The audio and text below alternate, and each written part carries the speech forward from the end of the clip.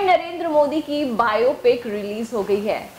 Film के release के बाद विवेक ओबरॉय और प्रोड्यूसर संदीप सिंह सिद्धि विनायक टेंपल पप्पा के दर्शन के लिए पहुँचे। इस दौरान विवेक बेहद हैप्पी नज़र आए।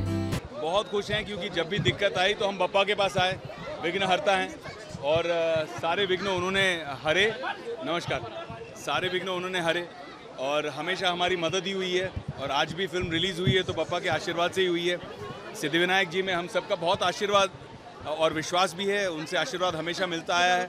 और अब मुझे ऐसा लगता है कि इतनी बड़ी जीत हुई है नरेंद्र भाई की। पूरे भारत के असली हीरो सबसे बड़े हीरो नरेंद्र मोदी निकले हैं। आ, उनकी विजय हुई है और उनके इस विजय को हम सब थिएटर्स में सिनेमाघरों में पूरे हिंदुस्तान में सेलिब्रेट कर रहे हैं। चालीस देशों में हमारी फ़िल्म देखकर लोग सेलिब्रेट कर रहे हैं।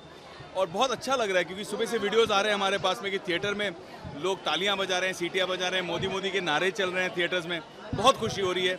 लोग अपने बच्चों को ले जा रहे हैं प्रेरणा देखने के लिए। आ, मोदी जी के जीवन से प्रेरणा लेने के लिए बच्चे जाके फ़िल्म देख रहे हैं। बहुत खुश हूँ मैं। वहीं विवेक ओबरॉय ने पीएम मोदी के जीत पर भी उन्हें नई राजनीति करने की बधाई दी।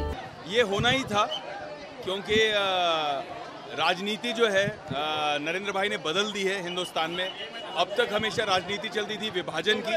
डिवाइड एंड रूल का फॉर्मूला था। नरेंद्र भाई ने डिवाइड एंड रूल को चेंज करके इलेक्शन का फॉर्मूला यूनाइट एंड रूल बना दिया।